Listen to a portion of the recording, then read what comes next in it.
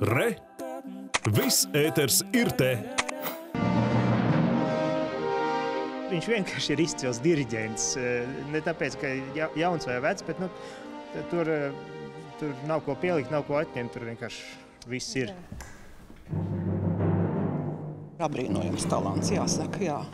Jo viena lieta, muzikāls, ta- tas ir tas viss skaisti, bet pārsteidz tas, cik viņš racionāli prot strādāt. Latvijas Nacionālā simfoniskā orķestra jaunais mākslinieckais vadītājs un galvenais diriģents Tarmo Peltokovski orķestra pirmo atzīšanos mīlestībā jau saņēmis pēc trim mēģinājumiem.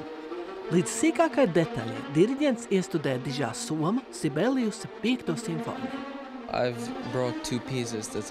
Pirmajos mēģinājumos es strādāju ar divām simfonijām, kas man ir ļoti tuvas - Sibēlijas un Vana Viljamsa darbiem.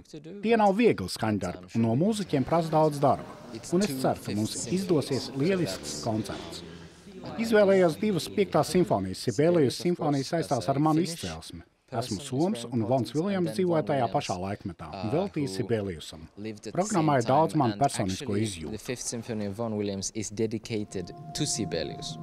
Diriģenta inaugurācijas koncerta programma iecerēta ar muzikāliem atklājumiem. Tā būs iespēja iepazīt arī angļu mūziku. Ralfam Vonam Viljamsam šogad apritētu 150 gadi. Piektā simfonija sarakstīta plusoties otrajam pasaules karam. Mēs nepazīstam angļu mūziku galīgi, un arī, um, viņš arī tā teica, ka tā ir sveša. Mēs vispār neko neesam spēlējuši no Von Viljams simfonijām, līdz ar to tas ir interesanti, kaut ko jaunu iepazīt. Tas būs vērtīgs, tas, man liekas, iegūms orķestrim. Paspēlēt arī šā, šā, šādu tipu mūziku, un, kur turklāt ir ļoti brīnišķīgi spēlēt. 22 gadus jaunais diriģents Tārmo Peltukovski ir arī lielisks pianists. Un viņa diriģenta talanta paralēli darbam Latvijā gaida arī Brēmeņas un Rotterdamas orķestri. Mūsu Nacionālā simfoniskā orķestra mūziķi diriģents salīdzina ar būtu, kuru strauji tiecas augšu.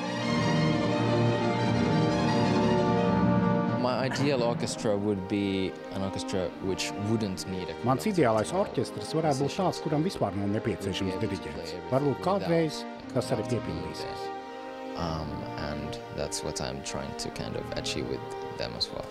Pavasarī, kad viņš bija pirmo reizi atbraucis, tad mums jau bija skaidrs, nu, ka tas ir kaut kas, kaut kas izcils, kaut kas brīnišķīgs.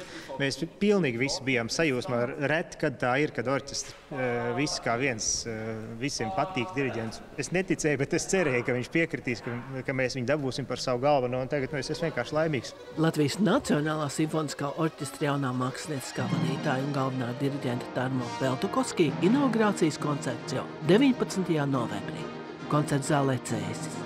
Ilza Strenga, Rēvo Freimans, Latvijas televīzija.